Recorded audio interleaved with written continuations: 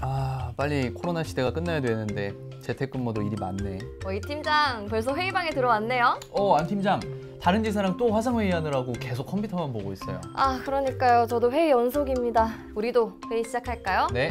네, 요즘 코로나19로 인해서 집단 거주 시설엔 코호트 격리가 이루어지는 상황인데요. 잠깐 잠깐 잠깐 잠깐.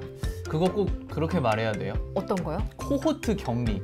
뉴스에 자주 나오는 말이긴 한데 좀 어렵지 않아요? 에이, 그래도 다들 코호트 격리라고 하는데 그대로 써주는 것도 나쁘지 않지 않아요? 음, 아니죠. 쉬운 우리말 표현으로 바꿀 수 있어요. 코호트는 울타리를 뜻하는 라틴어가 어원인데 감염자가 발생한 기관 등을 울타리처럼 통째로 봉쇄하는 조치를 말해요. 순화어는 동일 집단 격리. 어때요? 한 방에 이해되죠? 아, 동일 집단 격리는 매우 높은 단계의 방역 조치인데 하루빨리 코로나19가 끝나면 좋겠어요. 그러려면 개인 위생을 좀 철저하게. 손도 잘 씻고.